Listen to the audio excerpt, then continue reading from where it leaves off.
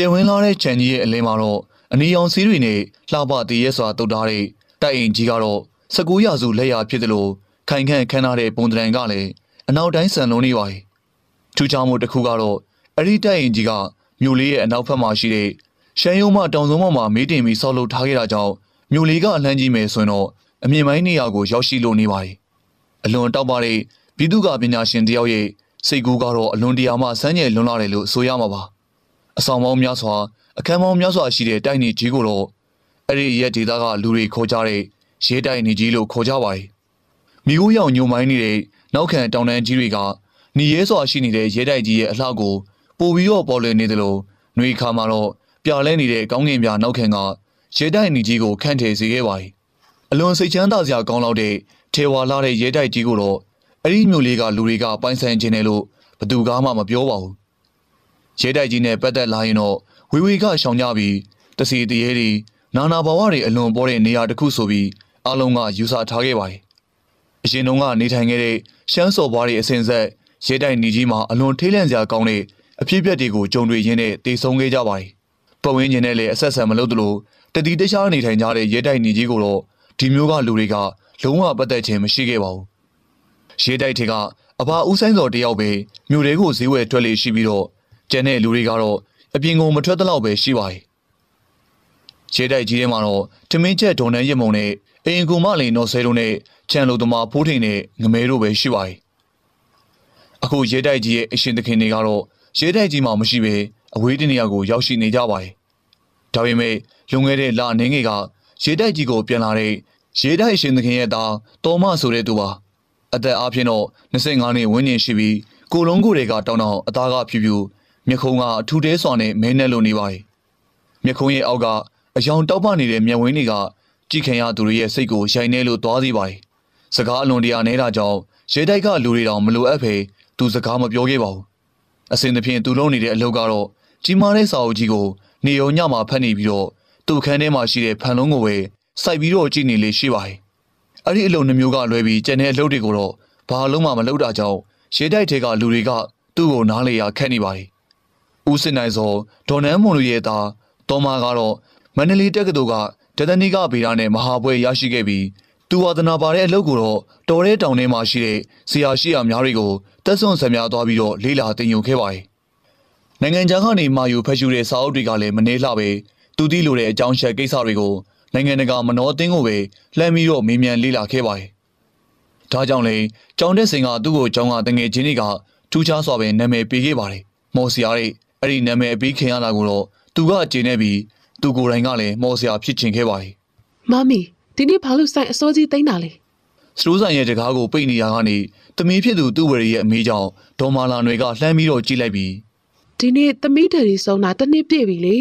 ဖះသွားပြီးကုသိုလ်ကောင်းမှုလုပ်ရအောင်ဆိုင်စောစောပိတ်တာဟင်ဒယ်ရီဆုံးတာတစ်နှစ်တောင်ပြည့်ပြီဟုတ်လားမမီသူ့ဝရီရဲ့အမေကိုတော့ဒေါ်မာလာတွေကခေါင်းမဲငင်းပြပြီးတော့ တကားချက်တွေကိုအောက်ကိုဆွဲချပြီးပိတ်လိုက်ပါတယ်။ဒီ night life fashion စတိုးဆိုင်လေးကိုတော့သူ့ယောက်ျားမြတ်တာကသူဖွင့်ရင်လှပါတယ်ဆိုတာကြောင့်ဖွင့်ပေးခဲ့ပါတယ်။ကိုမြတ်တာကတော့အယောင်းဝဲသမားစီးပွားရေးကိုအကွက်ကြကြလှုပ်တက်ပြီးတော့သူတို့သားမိပေါ်မှာလည်းအလွန်မှပဲချစ်ခင်မြတ်နိုးခဲ့ပါတယ်။မိသားစုပေါ်လေတာဝန်ကျေပြီးတော့သဘောကောင်းလာသူဖြစ်တာကြောင့်မိတ်ဆွေပေါင်းသင်းကလည်းပေါ်များပါတယ်သမီးတယ်ရီကမမီတို့ပြုတ်ပေးတဲ့ကောင်းမှုကုသိုလ်ကိုတမလွန်ကနေတာရုခေါ်မှာပါဟမ်အင်း ဒယ်ရီကတေသွားတာမဟုတ်ဘူးမမီဒယ်ရီကိုတေတယ်လို့မပြောပါနဲ့ဟမ်သမီးအမှန်ကိုအမှန်တိုင်းလက်ခံရတယ်သမီးဒယ်ရီတကယ်တေခဲ့တာလေမမီနဲ့သမီးကိုယ်တိုင်တကြိုခဲ့တာပဲကွယ်။သူ့ဝရီကဘာမှမပြောကောင်းတာအန်ဆွေလေးကပတ်စံတွေကိုရှည်တွက်လို့ပဲနေခဲ့ပါတယ်။ဒေါ်မာလာနော်ရဲ့မိဘတွေကငွေကြေးတက်နိုင်သူတွေဖြစ်တယ်လို့ကိုမြတ်တာရှောက်ဖေးပေးခဲ့တဲ့ဥစ္စာပစ္စည်းကလည်းနဲတာမဟုတ်ပါဘူး။အလုံးမလုံးပဲထိုင်စားရင်အောင်ရှားပေမဲ့ ကိုပိုင်လုံလေးတစ်ခုနဲ့ဘဝရက်တည်ကျင်တာကြောင့် fashion show ဆိုင်လေးကိုဖွင့်ထားခဲ့ပါတယ်မမီဒယ်ရီကသမီးတို့စီဘယ်တော့မှပြန်လာမှာမဟုတ်တော့ဘူးပေါ့။ဒေါ်မာလာတွေကတက်ပြင်းကိုချလိုက်ပြီးကျင်နာစွာကြည့်လိုက်ပြီးတော့သမီးဖြစ်မလာမယ့်အရာတွေကိုမမျှော်လင့်ပါနဲ့ကွယ်သမီးပင်ပန်းပါတယ်လက်ရှိဘဝမှာပဲအကောင်းဆုံးဖြစ်အောင်နေပါသမီးကဒယ်ရီကိုသမီးတို့စီပြန်လာစေချင်တာသမီးရဲ့ဒေါ်မာလာနော်ရဲ့အတန်ကတိမ်ဝင်သွားပြီး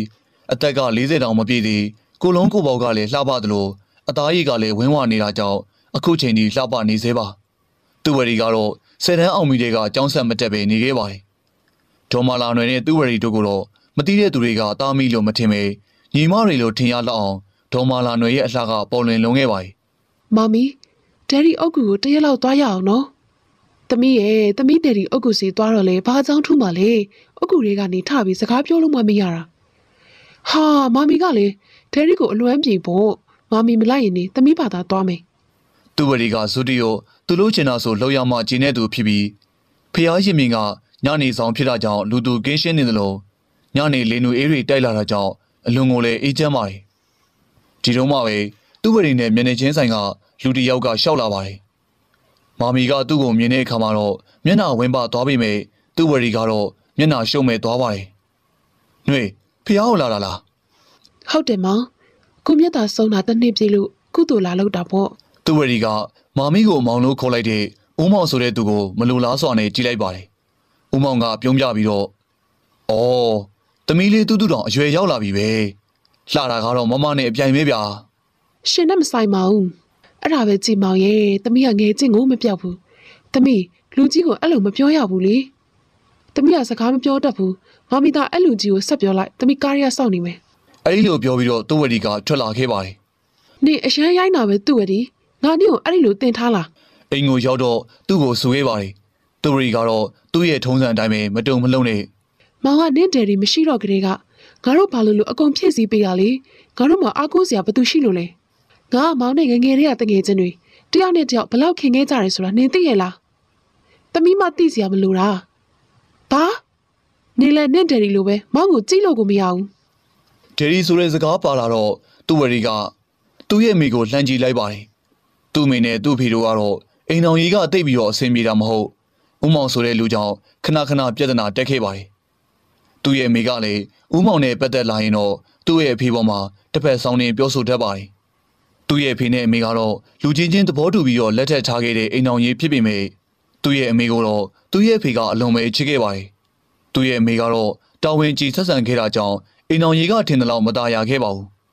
။ဦးမောင်ဆိုတဲ့သူကတော့သူ့ရဲ့အမေပိုင်ဆိုင်တဲ့လိမ္မော်ချန်ကလူယုံဥပဦးရဲ့သားဖြစ်ပြီးပညာရေးမှထူးချွန်ပြီးတော့သူ့ရဲ့အမေနဲ့လည်းကစားပေါ်ကစားဘက်တွေပါ။အရွယ်ရောက်တော့ချစ်သူတွေဖြစ်ပြီးဦးမောင်ကရန်ကုန်မှာသူ့ရဲ့အမေရဲ့မိဘတွေထောက်ပံ့ပေးတာနဲ့စစ်တပ်ကတူတွားတက်နေတဲ့အချိန်မှာတော့သူ့ရဲ့အမေကိုသူ့ဝရီရဲ့အဖေနဲ့လက်ထပ်ပေးခဲ့ပါတယ်။သူ့ရဲ့အဖေကလည်းသူ့အမေရဲ့နှွေးထွေးမှုတွေကိုမရပြီမဲ့ သူ့ဝရီကိုမိခင်မဲ့ဘဝရောက်မှဆိုတာနဲ့ကြည့်ပြီးတော့တီးခံခဲ့ပါတယ်ငါပြောမယ်သူ့ဝဒီနေမောင်ကိုကောင်းကောင်းမွန်မွန်ဆက်ဆံပါမဆက်ဆံရင်ငါ့ကိုအမေးဆိုတာအသိမမပြုတ်လို့ပဲရှင်နေငါအကြောင်းသိပါတယ်ငါကငါဖြစ်ချင်တာကိုဖြစ်ရမှဖြစ်မလာရင်ငါဘယ်လိုလုပ်တတ်တယ်ဆိုတာနင်သိပါတယ်။သူ့ဝရီကကြောက်လန့်စွာနဲ့သူ့ရဲ့အမေကိုကြည့်လိုက်ပါတယ်။ခက်ထန်နေတဲ့မျက်နှာကချောမောလှပတဲ့ရုပ်ရည်နဲ့မလိုက်အောင်တင်းမာလိုနေပါတယ်။ပါလာနေတဲ့နှကန်းတွေက ဖြစ်ချင်တာကိုပြက်ပြက်သားသားလှုပ်တတ်တယ်ဆိုတာညှိုးဆိုနေမှန်သူသိနေပါတယ်။တောက်ပါတဲ့မျက်လုံးလေတောင်ကျတဲ့မျက်နှာကိုပိုင်ဆိုင်တဲ့သူ့အမေကိုတော့မြင်ကြသူအလုံးကအပြူရှင်းအောင်လှတယ်တဲ့။သူ့ရဲ့အမေကတော့သူ့အပေါ်မှာရက်ဆက်လွန်ခဲ့ပါတယ်။အရာရာကိုအထစ်တလန့်ဖြစ်အောင်ရက်ဆက်လွန်ခဲ့တာပါ။သူအားကိုးရာဒယ်ရီမရှိတော့သူ့ရဲ့ဘွားကတော့မာမီရဲ့ပြင်းထန်တဲ့ဩဇာတွေရဲ့ကြားမှာကြောက်လန့်ခဲ့ရပါတယ်။ပိုပြီးဆိုတာကဦးမောင်ဆိုတဲ့သူနဲ့ပတ်သက်လာရင်တော့အဲ့ဒီလိုတွေးပြီးတော့ သူ့ဝရီတယောက်ကခေါင်းလေးကိုခါရမ်းပစ်လိုက်ပါတယ်ဒယ်ဒီသမီးကိုလူတွေကပြောကြတယ်ဒယ်ဒီသေသွားပြီတဲ့သမီးကတော့မယုံဘူးဒယ်ဒီသမီးနောက်မှာဒယ်ဒီအမြဲရှိနေတယ်လို့ထင်ပါတယ်။တိတ်ဆိတ်နေတဲ့တောင်မော်ကုန်းတင်ချိုင်းကထင်းရှုပင်တစ်ပင်ကြားမှာရှိတဲ့ဦးမြတ်သားရဲ့အုပ်ကူလေးရှိမှာထူထောက်ထိုင်ပြီးတော့သူ့ဝရီကမျက်ရည်လေးဝေးရင်းနဲ့ပြောနေပါတယ်။ကြီးမာခန့်နေတဲ့အုပ်ကူကြီးကတော့တောင်မော်ကုန်းတင်ချိုင်းလေးမှာခန့်တယ်စွာနေပါမာမီကတော့ဥမောင်ဆိုတဲ့လူကြီးကို အရင်အရေးပေးတာပဲဒယ်ဒီရဲ့သမီးအဲ့ဒီလူကြီးကိုတားမုန်းတာဒယ်ဒီသိပါတယ်မာမီကသမီးကိုလည်းအရင်နှိမ်တာပဲဒယ်ဒီရဲ့ပြန်လာလို့ရရင်ပြန်လာပါဒယ်ဒီရဲ့သမီးဒယ်ဒီကိုအမြဲမျှော်နေတာပါ။ဒီလိုပြောပြီးတော့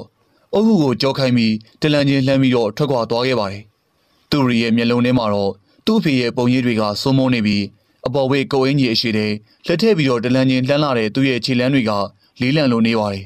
။သူ့ရဲ့ဘဝမှာနှွေးထွေးမှုအရှိဆုံး ကျင်နာမှုဖိနိုင်ဆုံးအဖေတယောက်မရှိတော့တာကတော့အလင်းမဲ့နေတွေကိုရှောက်ရတယ်လို့ပဲလို့ထင်မိပါတယ်။တင်ညာရဲ့အဝင်ကွန်ကရစ်လမ်းပေါ်ရောက်တော့အမတ်မထင်မေလမ်းဘေးနားမှာရှိတဲ့အုပ်ကူဘော်ကိုအကြည့်ရောက်သွားပါတယ်။အုတ်ကူပေါ်ဖိနိုင်ပြီးခြေတော်နှစ်ချောင်းချပြီးတော့ထိုင်နေတဲ့လူတစ်ယောက်ကသူ့ကိုစိုက်ပြီးတော့ကြည့်နေပါတယ်အမှန်မတင်မျက်လုံးချင်းစုံတဲ့ခဏအတွင်းမှာပဲသူ့ရဲ့ခြေလမ်းတွေကရက်တန်လို့သွားပါတယ်ဆူရှာတောက်ပါတဲ့မျက်ဝင်းတွေကသူ့ကိုဆွဲယူညှို့ယူလိုက်တယ်လို့ခံစားလိုက်ရပြီးတော့ရှင်ထဲမှာလည်းလက်ခနဲ့တုံသွားပါတယ် သူ့ရဲ့အကြည့်တွေကိုလည်းလွှဲလိုက်တဲ့အချိန်မှာတော့အုတ်ကူပေါ်မှာထိုင်နေတဲ့လူကသူ့အနားကိုရှောက်လာပါတယ်မင်းရဲ့နာမည်ကဘာတူလဲကွာရှင်။အော်မင်းရဲ့နာမည်ဘာတူလဲလို့ဟိုဟိုကိုမင်းတင်းချိုင်းနဲ့ဝင်လာတဲ့ကကြည့်နေတာ။ဟိုအုတ်ကူရှိမှာဘာတွေပြောနေတာလဲဟွန်းဟွန်း။မင်းပြောနေပါတယ်မညာပါနဲ့ဒဲဒယ်ရီကိုပြောနေတာ။အော်ဟိုအဲ့ဒီအုတ်ကူကမင်းတဲ့ဒီရဲ့အုတ်ကူလားอืม။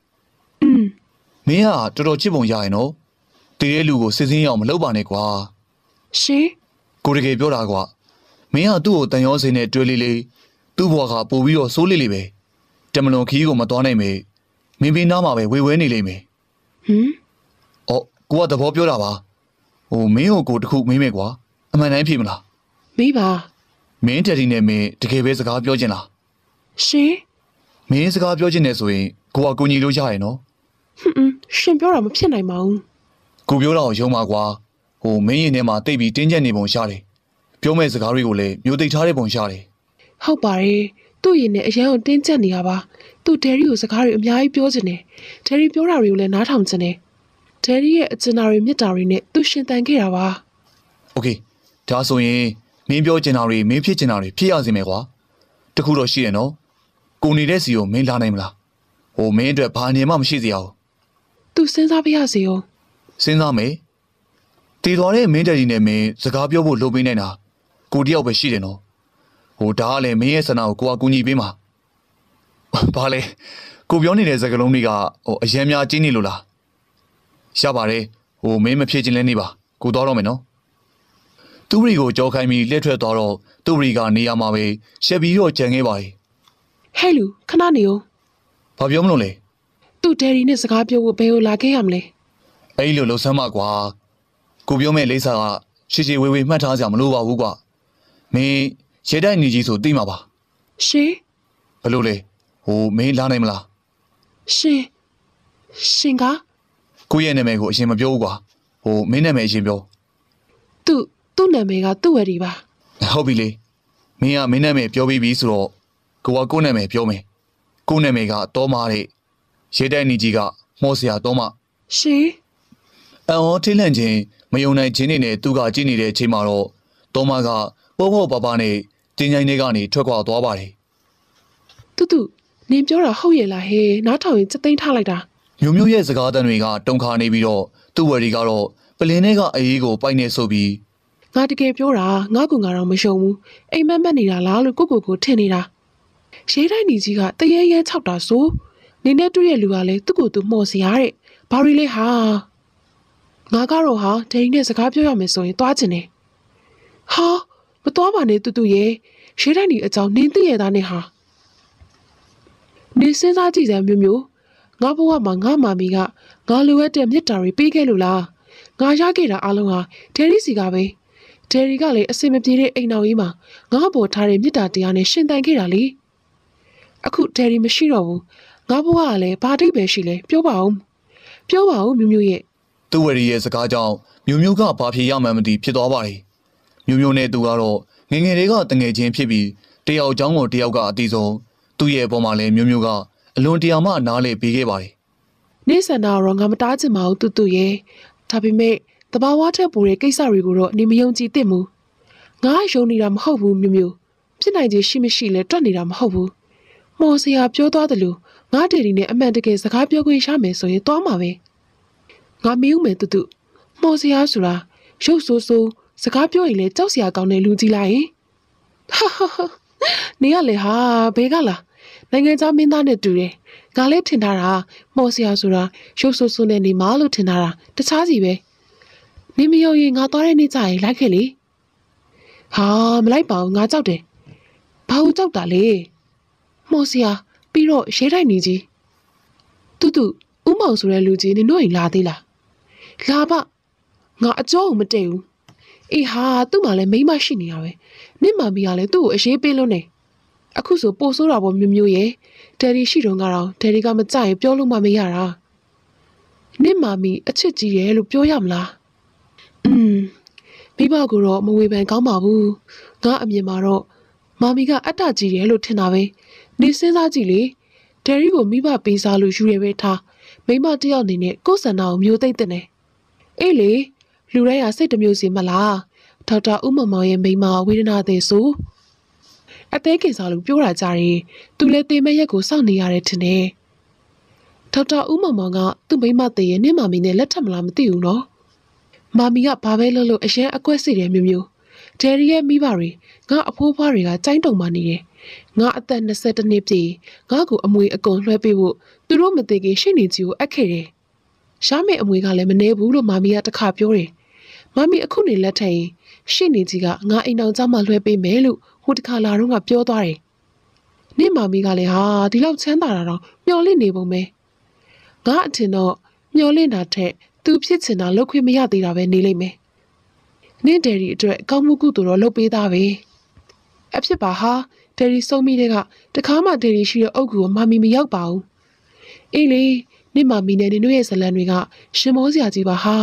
။မျိုးမျိုးရဲ့အမတ်ချက်စကားကိုတော့သူ့ဝရီကပြုံးပြီးတော့ခေါင်းငိမ်ပြလိုက်ပါတယ်။အဲဒီနောက်မှာတော့လက်ဖက်ဆိုင်ကောင်တာစီကိုသွားပြီးပတ်စံရှင်းလိုက်ပြီးတော့နှစ်ယောက်သားဆိုင်ထဲကထွက်ပြီးတော့ဆိုင်ငယ်နဲ့ပြန်လာခဲ့လိုက်ပါတယ်။ဂရင်မေးမှလာရဲနေတဲ့အချိန်မဲကြီးကြောင့်ဒေါ်မာလာຫນွေလေးဖြက်ခနေလန်နိုးသွားပါတယ်။အိယာကထပြီးကြည့်လိုက်တော့ဘာမှမတွေ့ရပေ ပြလဲလဲညာမီးရင်အောက်မှာတော့လှုပ်ရမ်းနေတဲ့လိုက်ကာစားတွေကိုတွေ့တာကြောင့်ကြက်သိန်းတွေထောက်သွားပါတယ်။အလွန်တိုးလျညင်သာပေမဲ့ခြေတံတွေကိုတော့ဒေါ်မာလာကြားနေရပါတယ်။ဂရင်မော်ကနေအောက်ကိုဆင်းပြီးတော့ခြေတံပေါ်လာတဲ့ဘက်ကိုလှည့်ပတ်ကြည့်လိုက်ပါတယ်။ဒီခါမှာတော့အလွန်ကိုကြေလောင်လာတဲ့ရှီမောတန်ကြီးကကြောက်မက်ဖွယ်ရာကောင်းလောက်အောင်ပဲထွက်ပေါ်လာခဲ့ပါတယ်။နှွေကိုပါကွာဘာအသားတွေတစ်ဆက်ဆက်တုံလို့ပါဇက်ကလည်းလှုပ်ခနေထွက်သွားပါတယ်။ ကိုမင်းကိုစိတ်မချလို့အတန်ကြားနေရပြီမေဘာမှမမြင်ရပေအတန်ကလည်းဘယ်နေရာကထွက်လာမှန်းမသိတကန်းလုံးကဟိန်းလုံးနေပါတယ်ကိုမြတ်တာရှင်ပမလေး။မင်းတွေးကျင်လို့လားမဟုတ်ဘူးရှင်ရှင်တည်သွားပြီကိုလန်းကိုသွားပါ။ကြောက်စရာကောင်းတဲ့ရှင်မောတန်ကြီးကထွက်ပေါ်လို့လာခဲ့တာကြောင့်ဒေါ်မာလာနွေလေနားနှစ်ဖက်ကိုလက်နဲ့ပိတ်လိုက်ပြီးတော့ငေတန်ပေါအောင်អော်လိုက်ရင်ဂိမ်းမောကိုပက်လက်လန်လေးကျသွားပါတယ် ဟင်မမကြီးတတိရလာပြီ။အိမ်ကူမလေးကဒေါ်မာလာနွေရဲ့နှာခေါင်းဝါကိုရှူစေးဘူးကိုတင်ရင်းနဲ့ပြောလိုက်တာကြောင့်သူ့ဝရီလေမမီဘာဖြစ်တာလဲအဲ့ဒီလိုမေးလိုက်တော့ဒေါ်မာလာနွေကအခန်းဘက်လေကိုကြောက်လန့်တကြားကြည့်ပြီးတော့ကိုကိုမြတ်တာလာသွားတယ်ဟမ်ဒယ်ရီလာသွားတယ်ဟုတ်လားမမီမမကြီးတောက်ရှိတောက်လိုက်မမီမမီစီဒယ်ရီလာသွားတယ်ဆိုဟုတ်တယ်ငါ့ကိုလာချောက်တာကြောက်စရာကောင်းလိုက်တာ မာမီရဲ့တယ်ရီကမာမီကိုတိတ်ချစ်တာလေတတိယလောက်လာတာနေမှာပေါ့တော်စမ်းသူ့ဝယ်ဒီငါကလူသူကတစေတရေဖြစ်နေပြီငါ့ကိုဘာမှလာပတ်သက်စရာအကြောင်းမရှိဘူးမဖြစ်ပါဘူးသူမလာနိုင်အောင်ငါအတားဆီးလုပ်ရမယ်မာမီသူရီကစကားပြောမယ်လို့တော့ဒေါ်မာလာနွေကလက်ကပြလိုက်ပြီးငါတရေမမွေးဘူးငါအိမ်မှာလည်းမထားနိုင်ဘူးနင့်တယ်ရီကိုနင်းချင်ရင်တမလွန်ကိုလိုက်သွား မာမီရဲ့အမိန့်ဆန်တဲ့စကလုံးတွေကိုတော့မလွန်ဆန်နိုင်တာကြောင့်သူ့ဝရီလေအခန်းထဲကနေထွက်လာပြီးတော့အင်ရှိအိမ်ထဲမှာပဲထိုင်နေလိုက်ပါတယ်ဒေါ်မာလာရဲ့စိတ်ကအလွန်တရာမှအတင်းမှပြတ်သားလုံးနေလို့သူ့ဝရီထင်မိပါတယ်တမီမာမီခန်းထဲမှာလားရှင်အိမ်ထဲကိုအပြေးဝင်လာပြီးမိတဲ့ဦးမောင်ကြောင့်အတွေးလွန်နေတဲ့သူ့ဝရီလေလန့်သွားပါတယ်တမီဟိုမာမီမူးလဲလို့ဆိုဣဇာဦးစီကိုဖုန်းဆက်လို့အဲ့ဒါတက်တာရဲ့လား အခန်းထဲမှာမမီရှိတယ်သိချင်ရင်သွားမိလိုက်။အော်အေးဟိုအလော်တကြီးထွက်လာတော့စေးတောင်ပါမလာဘူးကွယ်။ဦးမောင်ကပြောပြောဆိုဆိုနဲ့အခန်းဘက်ကိုရှောက်သွားလိုက်တော့သူ့ဝရီလည်းမကြည့်ချင်တာနဲ့အိမ်မော်ကနေဆင်းလာခဲ့လိုက်ပါတယ်။တယောက်တည်းထင်းရှိုးရိတ်ကော်ဖီဆိုင်လေးမှာထိုင်ရင်းနဲ့တွေးချင်ရာတွေကိုတွေးနေမိပါတယ်။မှားထားတဲ့ကော်ဖီကွက်တွေကကော်ဖီတွေကိုမတောက်ဖြစ်တာကြောင့်အေးတောင်အေးနေပါပြီ။အဲ့ဒီဆိုင်လေးကိုတော့သူ့ရီကသဘောကျပြီးတောင်ကုန်းမြင့်လေးမှာစောက်ထားပြီးတော့ တက်တက်ရဲရဲရှိလာပါတယ်။စပွဲမထိုင်ပြီးအဝေးကိုကြည့်နေရင်တော့မြင်မာတဲ့ရှမ်းရုံးမှတောင်တန်းကြီးကတိမ်နေနဲ့အတူလွင်မျောနေတယ်လို့ထင်ရပါတယ်။တိမ်မဝေးလာတဲ့နေရာမှာတော့တောင်ယာစိုက်ပင်တွေကအသက်ဝင်တဲ့ပကြီးကားတစ်ချက်လိုပါ။သူ့ရဲ့အဖေပြောတာတွေကိုမရှင်းလိုက်ပြန်မေးလိုက်နေတယောက်နဲ့တယောက်နှွေးထီးတဲ့မြစ်တာတွေရှိခဲ့တဲ့နေရာပါ။ဒီမှာထိုင်လို့ရလားဗျ။သူ့ဝရီမောကြည့်လိုက်တော့သူ့ထက်အသက်ငယ်ငယ်ကြီးပုံရတဲ့ယောက်ျားတစ်ယောက်အသားကဖြူဖြူရုပ်ရည်ကတန်တန် သူ့ဝရီလေတခါမှမမြင်မှုတဲ့လူတစ်ယောက်ပါဟုတ်ကျွန်တော်နာမည်မင်းခပါဗျရှင်ဟုတ်ဟုတ်ကဲ့ထိုင်ပါကျွန်တော်ခမရကိုရှာနေတာကြားပါပြီဗျာဟိုတိုက်တိုက်ဆိုင်ဆိုင်ပဲအခုမှလာပြီးတွေ့ရတယ်လို့ရှင်ဟိုကျွန်တော်ကရန်ကုန်ကပါတောင်ကြီးမှာကျွန်တော်ရဲ့မျိုးတွေရှိတယ်လေပြီးခဲ့တဲ့နေ့ကတောင်ကြီးကိုလာရင်းနဲ့လမ်းမှာအစင်ကားတစ်စီးနဲ့တိုက်မိတယ်ကျွန်တော်ကဒဏ်ရာအကြီးကျယ်ရှာခဲ့တော့စေးရုံမှာ3လလောက်နေခဲ့ရတယ်ဗျအဲ့ဒီ3လလုံးလုံးလေကျွန်တော်ကသတိလစ်နေတာ ကျွန်တော်နဲ့အဖော်လိုက်ရတဲ့ကျွန်တော်ဦးလေးကတော့ရုပ်ပြက်ဆင်းမြဲနဲ့ပဲတည်သွားတယ်ဗျာမင်းခပြောတာသူ့နဲ့ဘာဆိုင်လို့လဲဟိုခမရရဲ့နာမည်ကသူ့ဝရီပါနော်ရှင်သူ့နာမည်ကိုသိနေတယ်ဟုတ်လားသူ့ဝရီဆိုတာလည်းသိပါတယ်ဗျာပြီးတော့ခမရတို့ရဲ့မိသားစုကြောင့်လည်းကျွန်တော်သိပါတယ်ဟမ်အဟုတ်ပါတယ်ဗျကျွန်တော်3လလောက်တတိလင်းနေတဲ့အချိန်မှာကျွန်တော်ခမားကိုတွေးခဲ့တယ်ပြီးတော့ခမားမေဒေါ်မာလာနွယ်နဲ့လေကျွန်တော်ရင်းရင်းနေနေသိခဲ့တယ်ရှင်ဘာလဲယူနေရလား ယူရလားဘာလားတော့မသိပါဘူးဗျာကျွန်တော်စိတ်ထဲမှာ3လလုံးလုံးခမားရဲ့ပုံရိပ်တွေစွဲနေတာဗျပြီးတော့ခမားမမီကခမားကိုရက်ဆက်ခဲ့တယ်အိမ်မက်လိုဖြစ်ပြီးတော့အပြင်းမြန်အလှန်လှန်ကိုကျွန်တော်မြင်နေရတာဗျပြန်ပြီးသတိရတော့ကျွန်တော်မြင်ခဲ့တာတွေကသတိလင်းနေတုန်းကမြင်နေရမြင်ခဲ့တာလို့ထင်မိမိဟိုကျွန်တော်စိတ်ကစွဲနေခဲ့တာရှင်စိတ်ရောကကူဆရာဝန်နဲ့ပြမကြည့်ဘူးလားပြပါတယ်ဗျာမရဘူးဗျအဲ့ဒီအစွဲလန်းနေကြောင်းကျွန်တော်ချစ်သူနဲ့စီစံမဲ့ရက်ကိုတော့ရွှေ့ခဲ့ရတယ်ရှင် ကျွန်တော်အမှန်တိုင်းပြောတာပါဗျာခမရဲ့ပုံရိပ်တွေကကျွန်တော်မှဆွဲနေတယ်ဆိုတာဟိုချစ်သူရေးစားပုံလည်းမဟုတ်ဘူးဗျဘဘယ်လို့ပြောရမလဲစိတ်မချတဲ့ပုံလို့ပြောရမလားခမအတွက်အရာရာကိုစိုးရိမ်နေတယ်လို့ပဲကျွန်တော်နားလဲပေးပါဗျာဆရာဝန်ကကျွန်တော်ကိုစိတ်ထဲဆွဲနေတာကိုဖျောက်ဖို့ဆိုပြီးတော့စိတ်ထင်နေတဲ့ပတ်ဝန်းကျင်နဲ့အဲ့ဒီလူကိုတွေ့အောင်ရှားတဲ့ပြီးရင်တော့ဆက်ဆံဖို့အချင်းကြီးကိုသူ့ကိုပြောတဲ့သူဆက်ပြီးတော့ညွှန်ကြားမယ်လို့ပြောတယ်ဗျရှင်ယောဂထူးဆန်းလာကြည်လား ဟုတ်တယ်ဗျာကျွန်တော်လေကျွန်တော်ကိုကျွန်တော်အရန်အံ့ဩတယ်ဟိုလူတိုင်းအိမ်မက်မက်ကြပါတယ်ဗျာအဲ့ဒီအိမ်မက်ကိုတော့ခဏပဲဆွဲကြမှာပါဟိုပြီးရင်တော့ပျောက်သွားမှာပဲလေကျွန်တော်ကျတော့ဘယ်လို့မှဖျောက်လို့မရဘူးအခုလေကျွန်တော်မြင်ခဲ့တဲ့မျိုးလေးကတက်တက်သေးတူနေတယ်ဗျပြီးတော့ဒီဆိုင်တိုက်ဆိုင်တာကဒီဆိုင်လေးကိုတွေ့လို့ကားရက်ပြီးဆိုင်ထဲဝင်လာတော့ခမရောက်တမ်းပြီးတွေ့တာပဲဟုတ်ပြီလေသူ့ဘာကူညီရမလဲဟုတ်ကျွန်တော်ဒီမြို့မှာနေကြည့်မယ်ဗျာပြီးတော့ခမရဲ့မိတ်ဆွေအပေါင်းအသင်းဖြစ်ချင်တယ်ဗျ ဒါကပြဿနာမရှိပါဘူးဒါပေမဲ့သူ့ရဲ့ကိုကြီးကိုရာတွေကိုတော့ဝင်မပတ်သက်စေချင်ဘူးဟုတ်ရပါတယ်ကျွန်တော်ခမရဲ့ပုံရိပ်တွေဆွဲလန်းနေတာကချစ်သူတယောက်ကိုဆွဲလန်းတဲ့ပုံမျိုးမဟုတ်ပါဘူးဗျရှင်စိတ်မှာဘယ်လိုခံစားရလို့လဲပွန့်ပွန့်လင်းလင်းပြောပါကျွန်တော်ခမရဲ့ပုံရိပ်တွေကိုဆွဲလန်းနေရတာကဟိုဖခင်တယောက်ရဲ့ခံစားမှုမျိုးနဲ့ပါရှင်သူ့ရဲ့စကားမဆုံးခင်မှာပဲမင်းခလေစိုင်တွေကနေတလန်ချင်းလန့်လို့ထွက်သွားပါတယ်သူရီကမင်းခနဲ့ဆုံတဲ့အကြောင်းတွေကို မျိုးမျိုးကိုပြောပြလိုက်တော့မျိုးမျိုးကမယုံချင်တဲ့နင်ပြောလို့သာကြားရတာပါဟာဖြစ်နိုင်မယ်မထင်ပါဘူးနင့်ကိုတသက်ဇလန်းလာထွင်နေတာနေမှာပေါ့မဟုတ်ဘူးထင်တယ်မျိုးမျိုးမင်းခရိုးရိုးတတပါပြီးတော့ तू ကငါ့ကိုဖခင်တယောက်လို့တဲ့သူရီကပြောလိုက်တော့မျိုးမျိုးကခေါင်းကိုရှမ်းပြလိုက်ပြီးသဘောကတော့အလက်ကားပါဆိုတဲ့သဘောမျိုးနဲ့ပါနင့်ရဲ့အားနဲ့ချက်ကနင့်တယ်ရီကိုလိုရာတက်ပိုတဲ့တန်တမှုမျိုးဖြစ်နေတယ်မလား ဒါကိုအတွင်းကြကြသိရဲ့လူတစ်ယောက်ကဇလန်းထွင်တဲ့သဘောပဲနေမှာပါခေါင်းတွေကထုတ်ပစ်လိုက်စမ်းပါမျိုးမျိုးကအပြည့်ငင်းနေပေမဲ့သူရီကလက်မလျှော့သေးပဲထူးဆန်းတာတစ်ခုနင့်ကိုပြောမယ်မျိုးမျိုးဘာလဲမင်းခစကားပြောတဲ့ပုံတံတန်နဲ့လေတံကိုငါခန်းစားလို့ရတယ်ဟင်ဘယ်လိုခန်းစားလို့ရတာလဲသူငါ့ပေါ်စစ်မှန်တဲ့နှွေးထွေးမှုတွေပေးနေတယ်ဆိုတာပဲဟဲတူတူနင်ဘယ်လိုဖြစ်တာလဲ ပြောမယ်ဆိုရင်ဟိုကကောက်နေတာနော်နင်ကလိုက်ခံစားတယ်ဟုတ်လားဟာမျိုးမျိုးကလေနင်ကပြောလိဝေးလိပဲငါဆိုလိုတာကမေတ္တာတရားကိုပြောတာလူငယ်ဘဝရင်ခုန်တက်တာကိုပြောတာမဟုတ်ဘူးအဲ့လိုဆိုတော်သေးတာပေါ့ဟဲ့နင်ပြောတဲ့မင်းခသူ့မှာချစ်သူရှိတယ်ဆိုအင်းလေသူသာပုံမှန်ပြန်ဖြစ်ရင်နင်ကသူ့စကားတွေထဲမှာတာယာခဲ့တာတွေအတွက်ခံစားနေရအောင်မယ်ငါမင်းခရဲ့ရုပ်ရည်ကိုတာယာတာမဟုတ်ဘူးမျိုးမျိုးမင်းခရဲ့နှွေးထွေးတဲ့ဂယုစိုက်မှုတွေကိုပဲ ဘလို့ဟုတ်တယ်မင်းခရဲ့ဂယုစိုက်မှုတွေဟာငါတရီနဲ့တထက်တည်းပဲဟမ်မျိုးမျိုးကမယုံနိုင်လောက်အောင်မျက်လုံးပြူးကျလို့သွားခဲ့ပါတယ်သူ့ရဲ့တငယ်ချင်းသူရီလေစိတ်မမှန်သေးရဲ့လားလို့တွေးမိပါတယ်မျိုးမျိုးတယောက်သူ့ကောင်းကိုလင်းမြန်စွာနဲ့အလုပ်ပေးလိုက်ပါတယ်ရုတ်တရက်အကြံပေါ်လာပြီးဒီလိုလုပ်ပါလားတူတူဘာလို့လုပ်ရမှာလဲနင်ပြောတဲ့မင်းခါဆိုတဲ့လူကိုနင့်မာမီနဲ့ပေးတွေ့လိုက်ပါလားဟာဘယ်ဖြစ်မှာလဲ မာမီကဒယ်ရီအပေါ်ဟိုးရုံးတွေကကျင်ကျင်နာနာမှမရှိတာမင်းခါကိုလူလိန်တရားလို့တော့ဆွတ်ဆွဲအောင်မယ်อืมနင်ပြောတာလဲဟုတ်သားပဲမျိုးမျိုးလေးသူ့ရီရဲ့စကားကိုလက်ခံလိုက်ပါတယ်ဒေါ်မာလာနွယ်ရဲ့တရင်ကအခုဆိုရင်တော့သူတို့မျိုးလေးမှာပြတ်နေပြီးဒေါက်တာဦးမောင်မောင်နဲ့ဒေါ်မာလာနွယ်တို့ကနေရာတိုင်းမှာတပူတွေတွေနဲ့ပတ်ဝန်းကျင်ကိုလည်းဂယုမဆိုင်တော့ပါဘူးမင်းခနဲ့နင်းတွဲနေတာကိုနင့်မမီသိလားသိမယ်ထင်တာပဲဒုမျိုးလေးကချင်းချင်းလေးပဲဘသူဘာလုပ်တယ်ဆိုတာချက်ချင်းသိနိုင်တာပဲမဟုတ်လား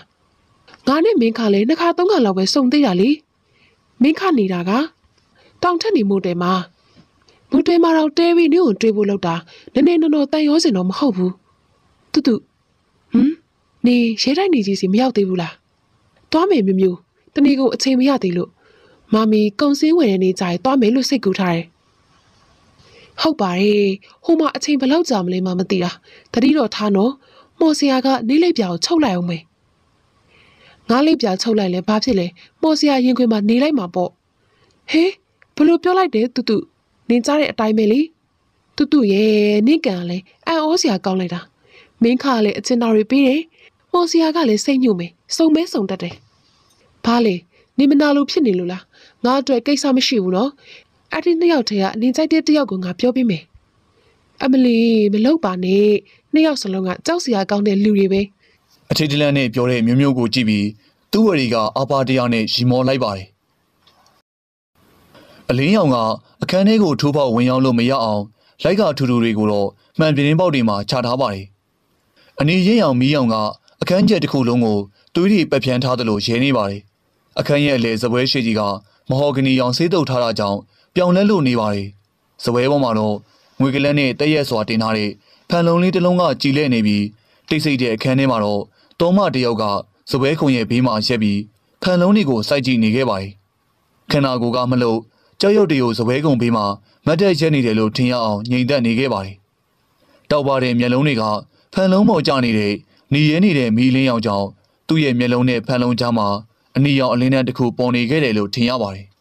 ဖန်လုံးကိုတောမကအကြည့်နေရင်းနဲ့အလင်းရောင်ကြောင့်လားတောမရဲ့အကြည့်တွေကြောင့်လားဖန်လုံးထဲမှာတော့အရေးတွေကပေါ်နေသလိုပါ တောမရဲ့မျက်နှာပေါ်ကနှကန်းတွေကတဖြည်းဖြည်းတွန်သွားပြီးတော့အပြုံးရိပ်တစ်ခုပေါ်လာခဲ့ပါတယ်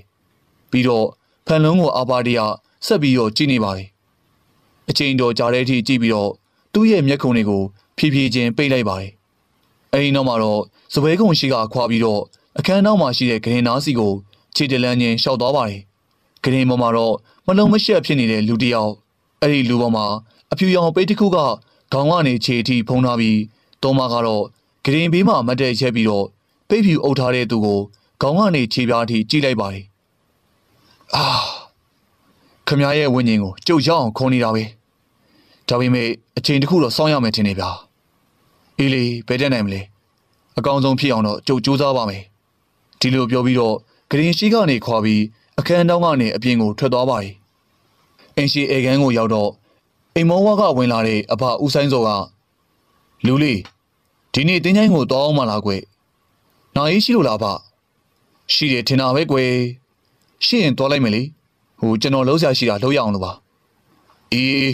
သူ့ဘာရာဇာကြီးကိုပြောလိုက်အဖအားရရက်မှာလာမယ်လို့ဟုတ်ကဲ့ပါဖ။တောမလေးခြံထဲကိုဆင်းလာခဲ့ပြီးတော့အင်းရှိမြက်ခင်းပြမှာရှိတဲ့ကြောက်စပွဲမှာဝင်ပြီးထိုင်လိုက်ပါတယ်။သူ့ဘဝတသက်တာလုံးလူသားတွေရဲ့စိတ်နဲ့ဘဝကိုလေးလာခဲ့ပါတယ်။အသက်မဲ့ခန္ဓာကိုယ်တွေပေါ်မှာ လူသားတွေရဲ့စိတ်သက်သာရာရမှုရှိနိုင်မရှိနိုင်ဆိုတာကိုလည်းလေးလာခဲ့တဲ့နေရာမှာတော့ခရီးတစ်ခုထိရောက်ခဲ့ပြီမဲ့ပြီးဆုံးအောင်မဖြစ်သေးပါဘူး။လူသားတွေရဲ့လိပ်ပြလွှင့်မတဲ့ကိုခန္ဓာကူးပြီးတော့ပြောင်းနိုင်မပြောင်းနိုင်ဆိုတာလေအတိအကျအဖြစ်မထွက်ခဲ့ပါဘူး။ဒါပေမဲ့သူ့အတွက်ထူးခြားတဲ့ပု္ပ္ပာတစ်ပုဒ်ကတော့သိမကြခင်မှာပဲအဖြစ်တစ်ခုရတော့မှာပါ။ရှားလာခဲ့ရင်တော့သူပြုစုနေတဲ့မရဏချမ်းကိုဏီကုံချုပ်နိုင်မှာဖြစ်ပါတယ်။တော်မတယောက်လည်းတွေ့ရင်နဲ့ကျင်းနေစွာပြုံးလိုက်ပါတယ်ကုမောင် ကျမမောနေလို့တွဲပြီးထမင်းစားခန်းနဲ့ပို့ပေးပါလား။အိယာဘော်ကနေအာယူပြီးတော့ပြောလိုက်တဲ့ဇနီးတဲ့ဒေါ်သိန်းကြီးကိုတော့အင်ကြီးလဲနေတဲ့ဦးမောင်မောင်ကငါဒီမှာအင်ကြီးလဲနေတာမမြင်ဘူးလားကွာကျမအရန်မောနေလို့ပါ။မင်းရလဲကွာစိတ်ပြက်ဖို့ကောင်းလိုက်တာ။အခုဒီကိုအဆုံးမတတ်နိုင်ဘူး။ဒီလိုပြောလိုက်တော့ဒေါ်သိန်းကြီးရဲ့မျက်နှာကတင်းကနေဖြစ်သွားပြီးလင်းယောက်ျားဖြစ်တဲ့ဦးမောင်မောင်ရဲ့ချစ်ခင်ကျင်နာမှုတွေကိုသူမရခဲ့ပါဘူး။သူ့ဘက်ကတော့ယောက်ျားအတွက်အစွမ်းကုန်ပေးဆက်ခဲ့ပါတယ်။ ချမ်းသာတဲ့မိဘတွေရဲ့တူရီတော်သမီးဒေါ်သိန်းကြီးကိုတော့ဆရာဝန်ဆိုတဲ့ဂုံတစ်ခုနဲ့ဦးမောင်မောင်ကရားခဲ့ပါတယ်။မွေးရပါနှလုံးယောဂဝေဒနာတဲ့ဒေါ်သိန်းကြီးကိုတော့ဆရာဝန်တယောက်နဲ့မိဘတွေကလက်ထပ်ပေးပြီးစိတ်ချတယ်လို့ထင်ခဲ့ပါတယ်တယောက်နဲ့တယောက်လေးရှေ့စဉ်နောက်စဉ်ဆုံးမသွားခဲ့ပါတယ်ဒေါ်သိန်ကြီးရဲ့မိဘတွေပိုင်တဲ့ပွဲရုံလုပ်ငန်းတွေကိုတော့ခြံလုပ်ငန်းတွေကိုဦးမောင်မောင်ကဦးစီးပြီးတော့လုပ်ကင်ခွင့်ရခဲ့ပါတယ်တစ်ဖက်ကလည်းအထူးကူစေကန်းကြီးကိုဖွင့်ထားပြီးတော့စေကူခဲ့သလိုပဲ ပွဲရုံလုပ်ငန်းတွေကိုလည်းကြီးကြပ်လုပ်ကင်ခဲ့ပါတယ်ဦးမောင်မောင်ကတော့အရက်မတော့လောင်ကစားမလုပ်ပေမဲ့မိမရှုပ်တဲ့နေရာမှာတော့အလွန်ကိုနာမည်ကြီးလာပါတယ်ဒေါ်သိန်ကြီးရဲ့အပေါ်မှာလည်းဂယုစိုက်ခြင်းကျင်နာခြင်းမရှိဒေါ်သိန်ကြီးရဲ့ယောဂက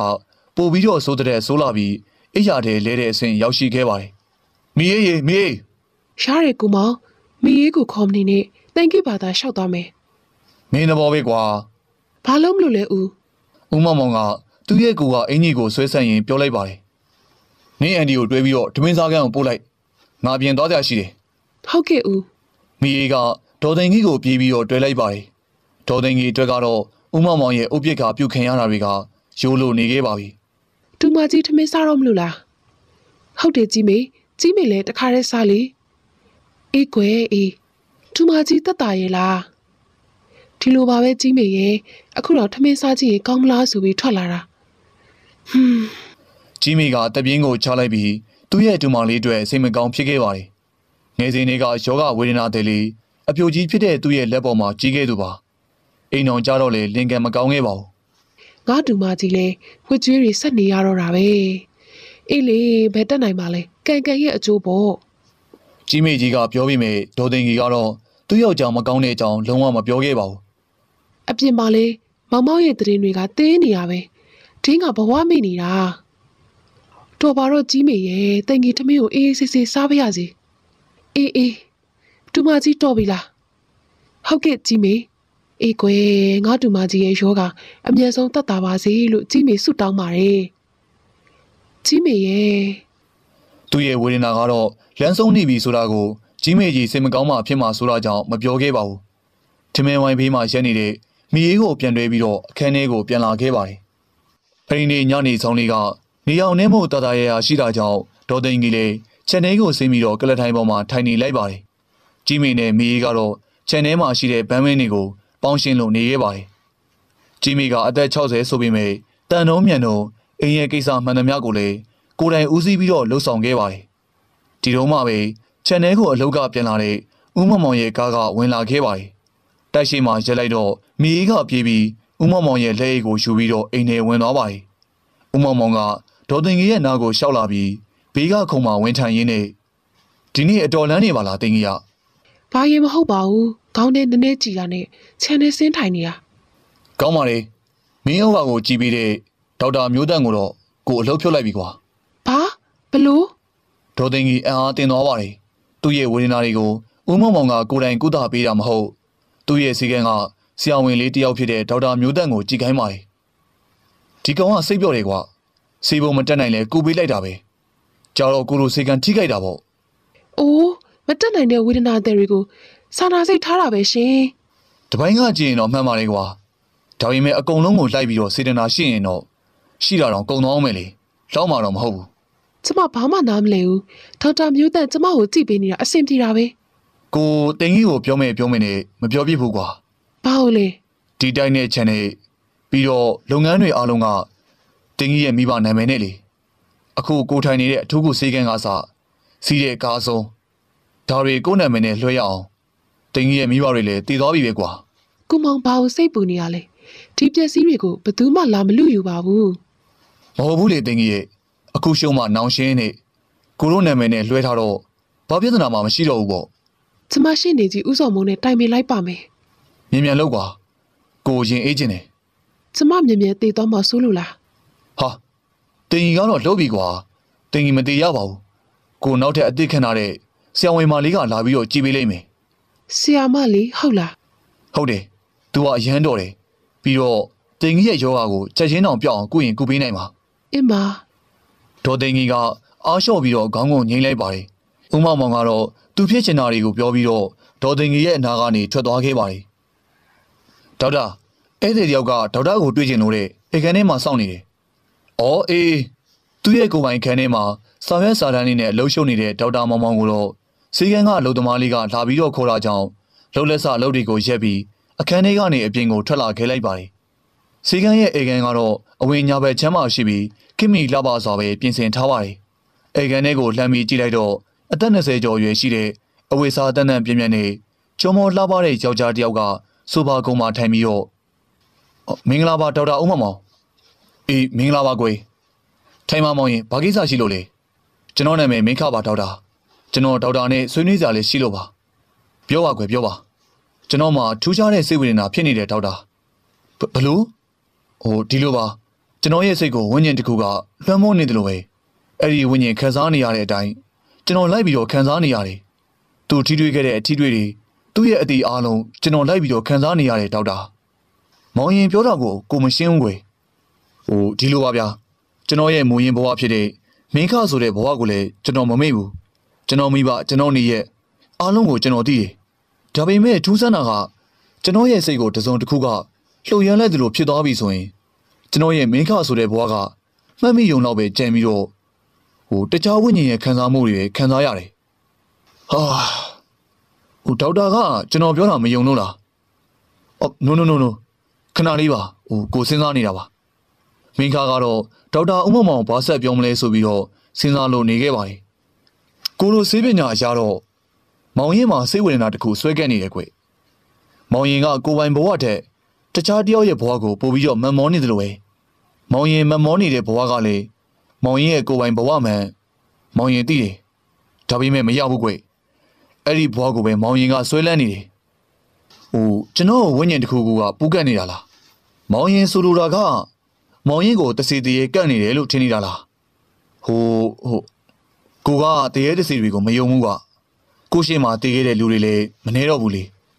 ကိုသူတို့ကိုတခါမှပြန်တွေ့တယ်လို့မရှိဘူးပြီးတော့ကိုကိုလည်းဝိညာဉ်နေနဲ့လာပြီးတော့လည်းနှုံဆက်တယ်လို့ဒုက္ခပေးတာလည်းတခါမှမကြုံဘူးခဲ့ဘူးဟိုဒေါက်တာပြောပါမောင်ရင် ပြောကြရှိရင်ပွင့်ပွင့်လင်းလင်းပြောပါဟိုကြုတ်ကူညီနေတာရှိရင်ကူညီပါမယ်ဟိုတည်ဆုံးသွားတဲ့ဝိညာဉ်တစ်ခုကဒေါက်တာကိုလာပြီးတော့တွေးကျင်လို့လေဘာဘာဘာပြောတယ်မောင်ရင်အဲ့ဒီဝိညာဉ်ကဒေါက်တာကိုလာတွေ့ရင်တရေသစ်စင်မယုံတဲ့ဒေါက်တာရဲ့အယူဆတွေပြောင်းပြန်ဖြစ်သွားမှာပါအဲ့ဒီလိုပြောလိုက်ပြီးတော့အတူကိုစေကန်ရင်အေကန်ကနေထွက်သွားလိုက်တော့ဒေါက်တာအုံမမောင်ကမင်းခဲရဲ့ကြောပြင်းကိုတန်တော်ငီးမောလို့ကြံခဲ့ပါတယ်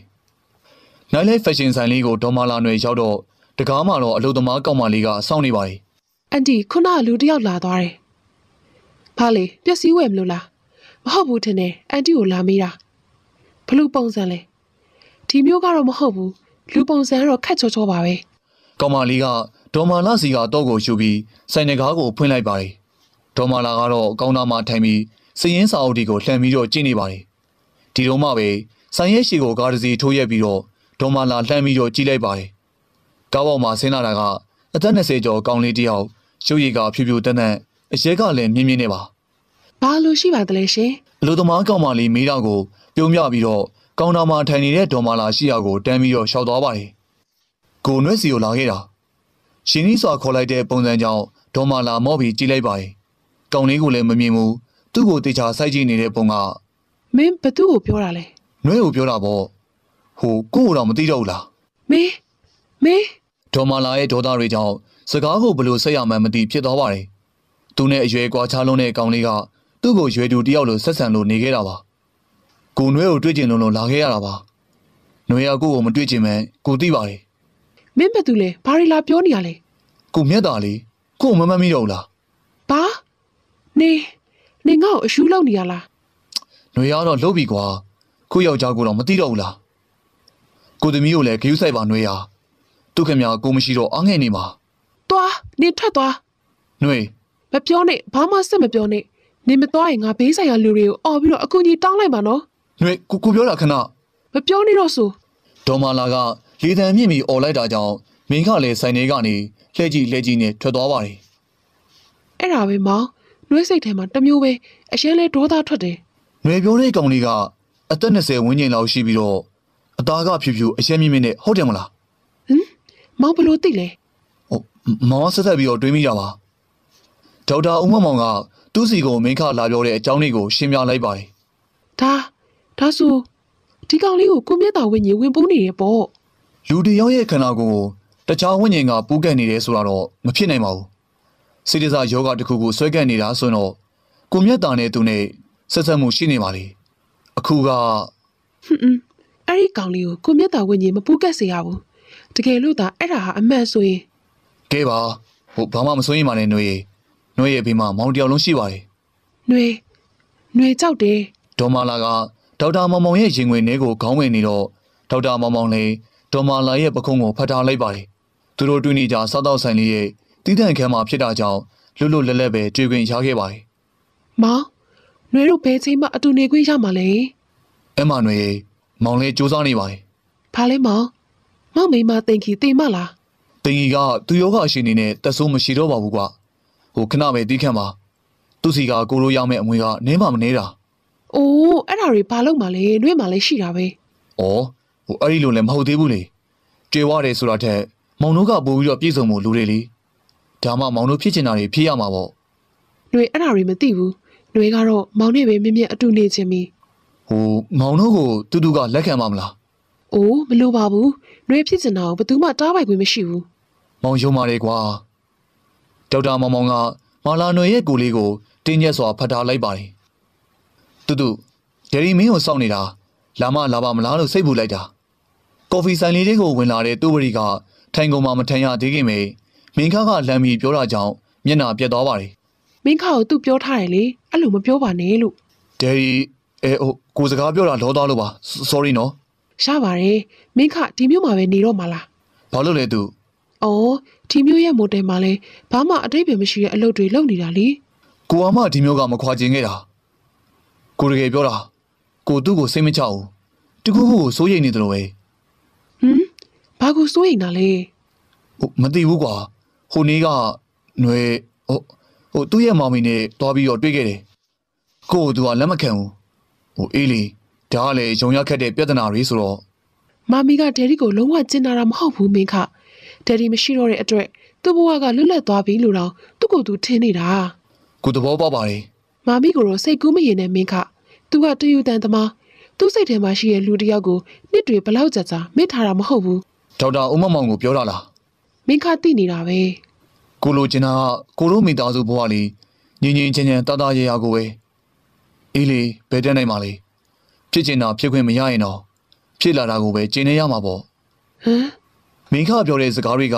သူ့ရဲ့ဖေသူ့ရှိမှပြောတဲ့စကားတွေပါမင်းခရဲ့ကိုယ်မှာတကယ်ပဲသူ့ဖေရဲ့ဝိညာဉ်ကပူကတ်နေတာလား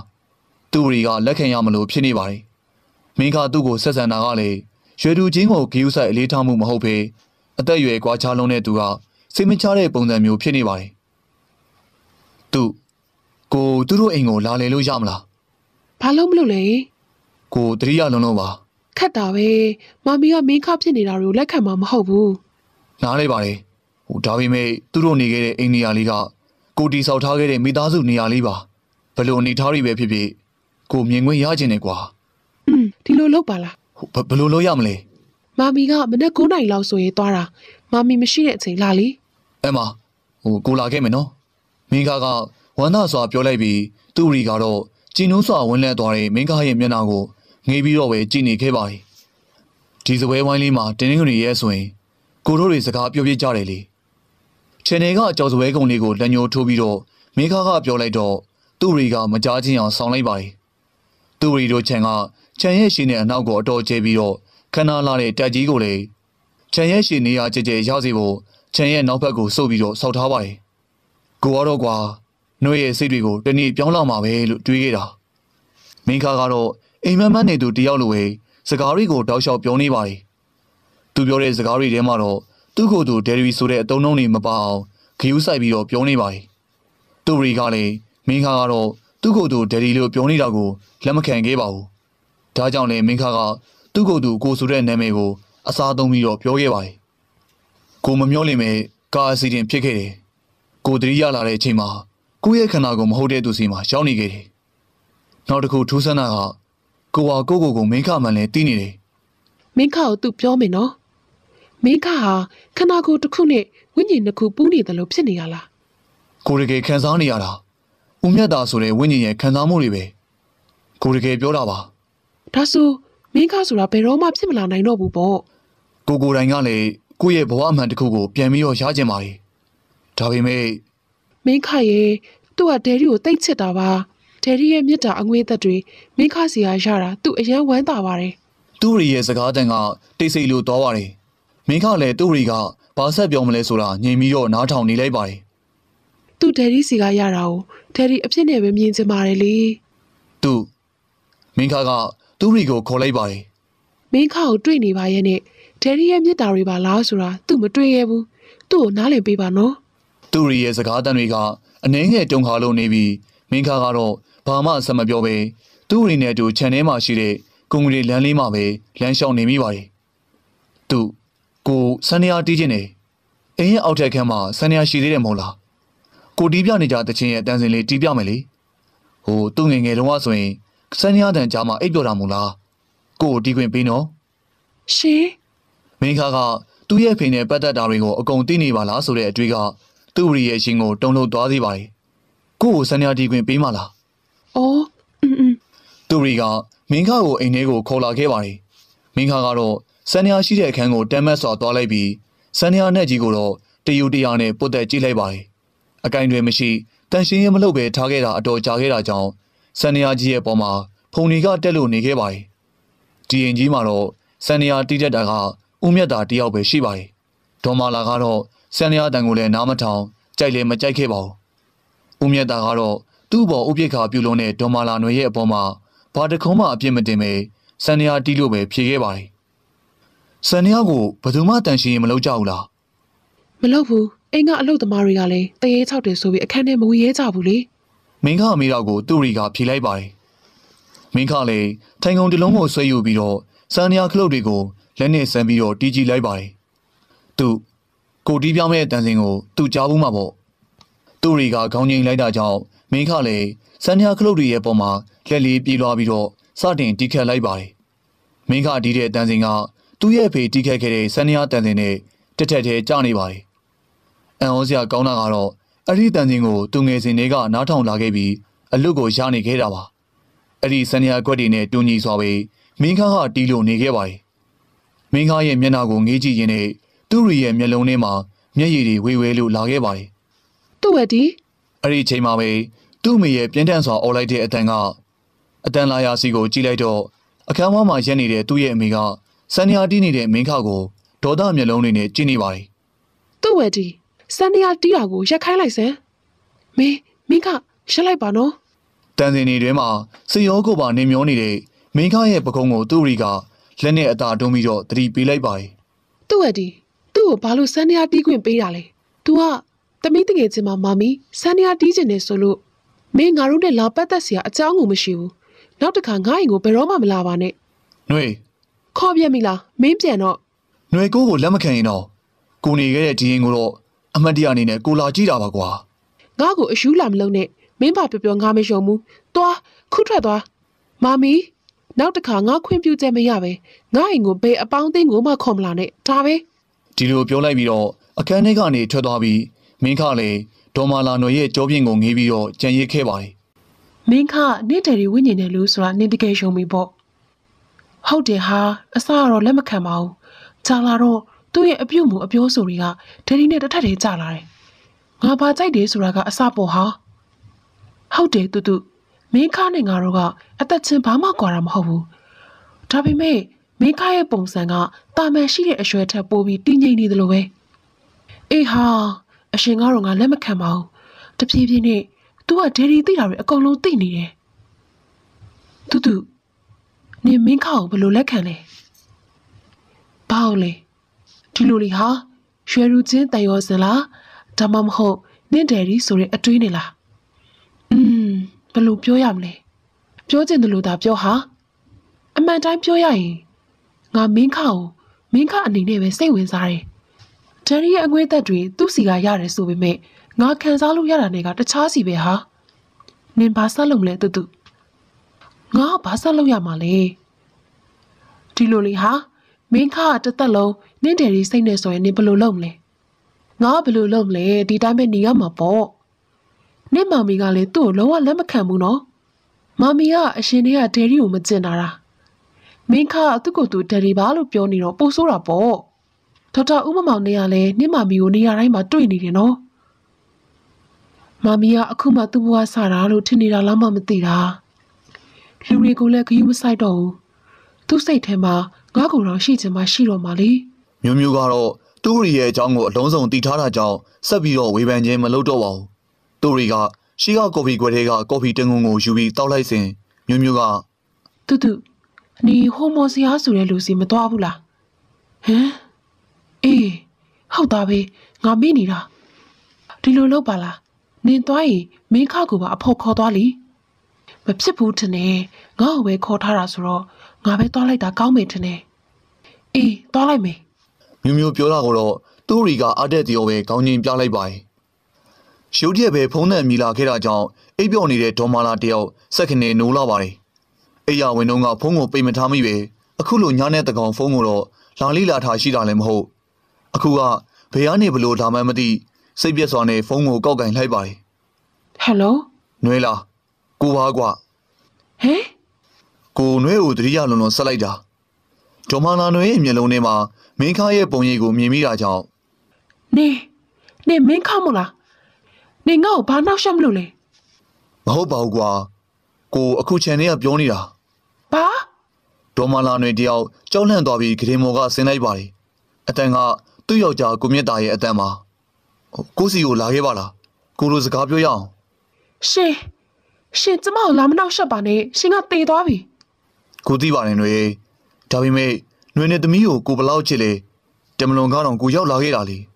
။ဒေါ်မာလာနွယ်လည်းဖုန်းကိုကင်ထားတဲ့လက်တွေကတုံလာပြီးတော့ချန်နယ်မှာဆိုတာကြောင့်ပြင်းမောင်နာစီကိုတွားလိုက်ပြီးလိုက်ကာကိုဖွင့်ကြည့်လိုက်တော့ချန်နယ်မှာရှိတဲ့ကြီးမားတဲ့တောင်တရက်ပင်ကြီးရဲ့အောက်မှာ မဲမဲတရံအရင်မဲကြီးတစ်ခုကသူ့ရဲ့အခန်းပြင်းမောက်ကိုကြည့်နေပါတယ်။ကိုနွယ်တို့ကိုစိတ်မချလို့တခြားခဏကိုတစ်ခုလေးကိုဝင်ပြီးတော့ရောက်လာတာလေဟဲရှင်ရှင်သွားပါတော့ကြောက်ရလွတ်ရသွားပါတော့။ကိုသမီးကိုစိတ်မချဘူးနွယ်။ကိုရဲ့သမီးဘေးနားမှာကိုကိုအမျက်ရှိနေတာနွယ်ခွင့်ပြုပါကွာ။ရှင်နဲ့ကျမတို့ကဘဝချားနေပြီရှင်ကြောက်အောင်ကျမဘာလုပ်ပေးရမလဲပြောကျမအကုန်လုပ်ပေးမယ်ကိုကိုကျွတ်လို့အောင်လို့ဟုတ်လားဟုတ်တယ် ကျောင်းဆရာကောင်းလာတဲ့ရီမောတန်ကြီးကထွက်လာခဲ့ပါတယ်။မာလာနွယ်ရဲ့ဖုန်းလေးလက်ထဲကနေအောက်ကိုပြုတ်ကျသွားပါတယ်။ဖုန်းလေးကရီမောတန်ကအပြင်ကနေပင်ကြားလို့ရနေတာကြောင့်မာလာနွယ်တယောက်ဂရင်ပေါ်မှာထိုင်ပြီးဖုန်းပေါ်အထိတ်တလန့်နဲ့ကြည့်နေမိပါတယ်။ဒီတော့မှပဲပြတင်းဖောက်ကတကားခောက်တန်ကိုကြားတာကြောင့်မျက်လုံးရဲ့ကြည့်တွေကပြတင်းမောက်စီကိုရှောက်သွားပါတယ်။နွယ်ကျောင်းဆရာကောင်းလာတဲ့အတန်ကြီးကြောင့်ဒေါ်မာလာနွယ်လေးသွေးပြက်ပြီးတော့သူ့ရဲ့ရင်ဘတ်ကိုလက်နှစ်ဖက်နဲ့ဖိထားမိပါတယ် ပြီးတော့အာကောင်ချစ်អော်လိုက်ပြီးအိယာပေါ်မှာပြစ်လဲကျသွားပါတယ် မမီ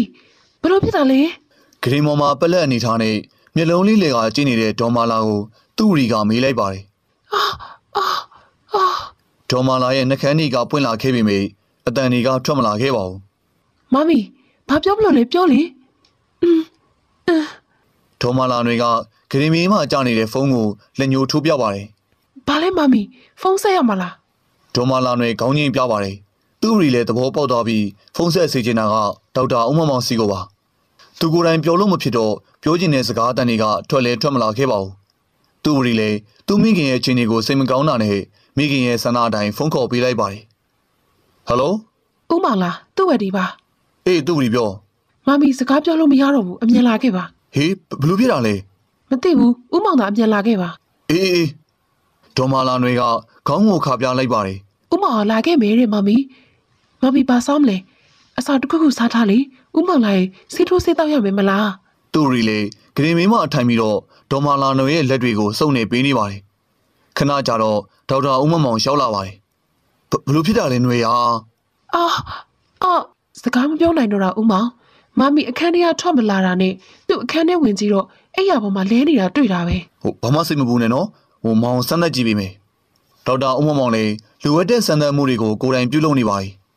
အချိန်ကြီးကတော့အားလုံးပုံမှန်ပဲကွာຫນွေစကားပြောကြည့်ပါဦးဟင်ဘဘလူးဖြစ်တာလဲကွာဒေါ်မာလာရဲ့မျက်ဝင်းတွေကမျက်ရည်ဘူးတွေစီးကျလာပါတယ်သူစကားလုံးဝမပြောနိုင်မေစွန့်အားသွားခဲ့ပါတယ် ဥမောင်ဘယ်လိုလုပ်ကြမလဲမမီစကားမပြောနိုင်တော့ဘူး အေးကွာ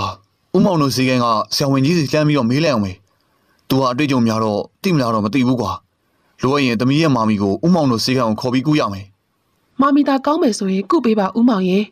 ဘယ်လောက်ပဲကုံကုံမ။ငွေကြီးကပြဿနာမရှိပါဘူးကွာ။ဥမောင်ရဲ့စီကန်းမေဟိုပြဿနာကအခုလိုဖြစ်လာရင်ဘယ်လိုကူးရမလဲဆိုတာပဲ။ဒေါက်တာဥမောင်မောင်ကသူသူ့ရီကိုရှင်းပြပြီးဒေါ်မာလာရဲ့ဘာပေါ်ကျနေတဲ့မျက်ရည်တွေကိုတယူရီယာတုပ်ပေးနေပါတယ်။သူ့ရီလည်းအဲ့ဒီမြင်ကွင်းကိုဆက်ပြီးတော့မကြည့်ချင်တာကြောင့်အခန်းပြင်ကိုထွက်လာခဲ့ပါတယ်။ ထူးဆန်းစွာဆုံးသွားသွားတဲ့သူ့ရဲ့မိခင်ကဘာတွေတွေ့ခဲ့တာလဲဆိုတာတွေးမရအောင်ဖြစ်သွားပါတယ်ရှင်ဘလို့လုံးလိုက်တာလဲမင်းခ။ဘာကိုပြောရလဲသူ့ရဲ့သူ့ရီကမင်းကကိုအရေးတကြီးပြောစရာရှိတယ်ဆိုတာကြောင့်ကော်ဖီဆိုင်လေးကိုချိန်လိုက်ပါတယ်ရှင်ဟိုတရက်ညမမီစီဖုန်းဆက်သေးလား။အင်းမဆက်ပါဘူးရှင်မညာပါနဲ့မမီအခုအထုခုဆေးကမ်းမှာတင်ထားရပြီ။ဟမ်မမီစကားမပြောနိုင်တော့ဘူးသူစာနဲ့ရေးပြတာကဒယ်ရီသူ့စီဖုန်းဆက်တယ်တဲ့ နောက်ပြီးဒယ်ရီကသူ့ကိုလာချောက်တယ်ပြောတာပဲကိုရကေပြောနေတာပါကွာ။သူ့ရဲ့မမီစီကိုဖုန်းမဆက်ပါဘူးကွာအဲ့ဒါဆိုဘသူဆက်လဲရှင်မဲဆက်မဲ့လူရှိတာမမီကအရန်ကိုကြောက်နေတာ။ကိုရကေပြောတယ်ဆိုတာရှုံးပါကွာ။ကိုကနှွဲကိုအဲသူ့ရဲ့မမီကိုအထေးထလန့်ဖြစ်အောင်လုံးမဲ့သူမဟုတ်ပါဘူး။အဲ့ဒီညာကကိုတကယ်ကိုနှိမ့်နှိမ့်ချက်ချက်အိပ်ပြောနေတာပါဆရာဝန်ကြီးကပြောတယ်မမီအာယုံကြောတချို့ထိခိုက်သွားတယ်တဲ့။ဒါဆိုကိုလိုက်ကြည့်လို့ရမလားမဖြစ်ဘူးထင်တယ် မမီကရှင်ကိုလုံးဝလက်ခံတာမဟုတ်ဘူး။သူ့ရဲ့မမီအခုလိုဖြစ်တာကိုလုံးဝစိတ်မကောင်းပါဘူးကွာ။သူ့ရဲ့စိတ်ကိုကချောက်လန့်တာရောမဖြစ်နိုင်ဘူးလားအဲ့ဒါတော့မသိဘူးမမီစကားပြန်ပြောနိုင်မှုလူအဲ့ရရန်ကုန်သွားဆေးကူရမယ်။အေးလေဟိုသူတို့ရန်ကုန်သွားစိတ်ကူးရင်တော့ကိုလိုက်ခဲ့ပါမယ်။လိုအပ်တာအားလုံးလည်းကိုကူညီပါမယ်မမီကတော့လက်ခံမယ်မထင်ဘူးမင်းခ။ဟမ်ရှင်ရှင်ကိုယ်တိုင်ဘဝမှန်ကိုသိရတာနဲ့ကိုယ့်စိတ်ကိုဘာလို့လိန်ညာဖို့စူးစမ်းနေရတာလဲ ကိုမလိမ္မာဘူးသူ့ရဲ့ကိုယ့်ရဲ့စိတ်ကသူ့ရဲ့ဒဒီရဲ့ဝိညာဉ်လွှမ်းမိုးခံစားရတယ်လို့ဖြစ်နေတာဟိုမင်းခဆိုရဲ့ဒီယုတ်ခဏပဲရှိတာလေ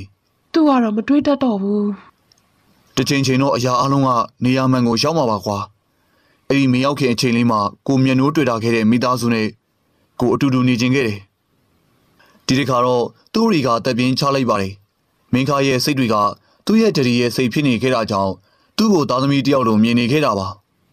အိမ်မှာစံနေရကြီးမရှိတော့ဘူးမင်းခဟမ်ဘယ်ကိုရောက်သွားလဲကိုလာဒီမှာဆိုတော့သူ့ရဲ့မမီကဘာလို့လိုက်တာလဲအဖိုးကြီးတယောက်လာဝယ်လို့ရှောင်းလိုက်တယ်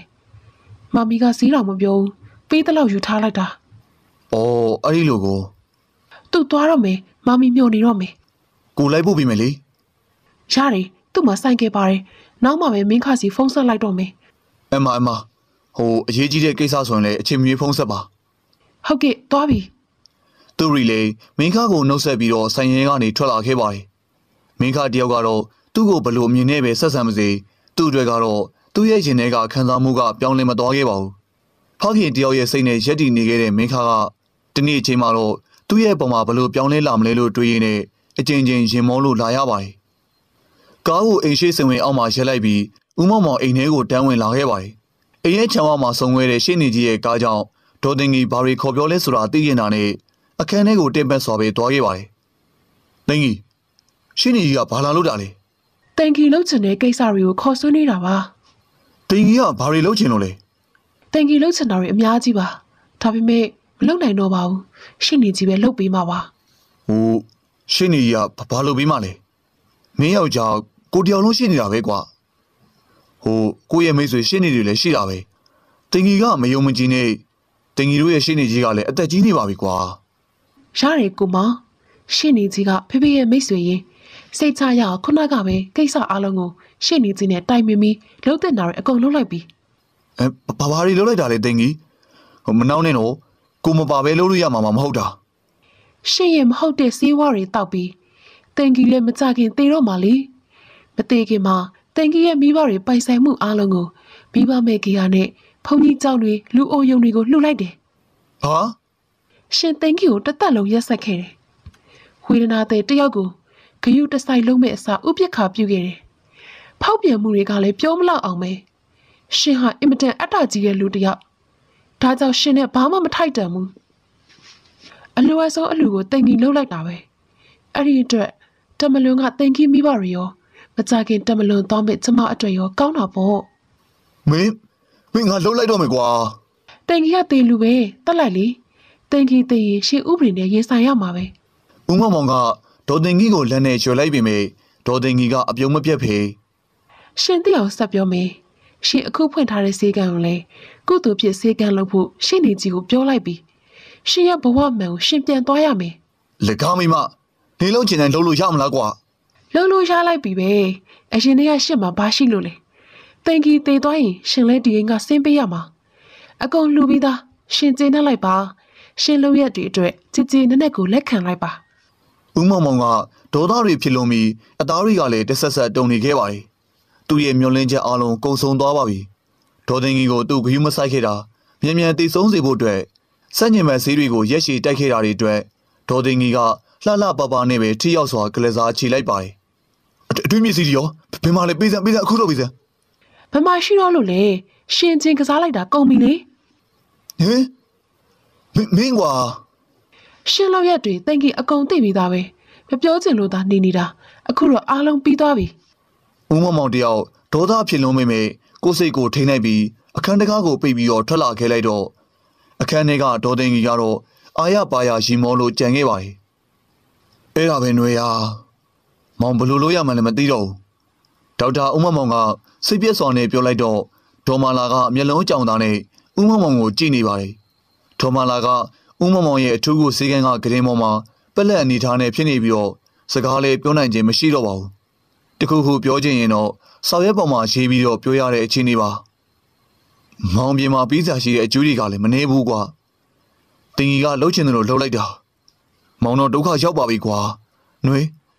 မောင်ကဲပါအောင်ကွာ။မောင်ငွေရမ်းလို့နေတယ်ကွာ။ဒီခါမှာဒေါ်မာလာတွေကစက်ကူနဲ့ဘောပင်ကိုယူလိုက်ပြီး ဒေါက်တာဦးမောင်မောင်ကိုစာရေးပြီးတော့ပြလိုက်ပါ යි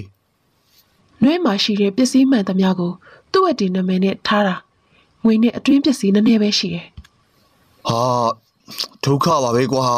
။ဦးမောင်မောင်လေးသူ့ကောင်းတွေကိုလမ်းတစ်ဖက်နဲ့ကုပ်ပြီးတော့အခန်းရဲ့ပြင်ကိုထွက်သွားပါတယ်။လက်ရက်ပြီးခုံနေတဲ့ဒေါ်မာလာကိုတော့လှည့်ပြီးတော့မကြည့်တော့ပါဘူး။သူ့မှာအရေးကြီးတဲ့ပြဿနာကဖြေရှင်းစရာရှိပြီးတော့အဲ့ဒီချိန်မှာဦးမောင်မောင်အတွက်အရေးကြီးဆုံးကငွေပဲဖြစ်ခဲ့ပါတယ်။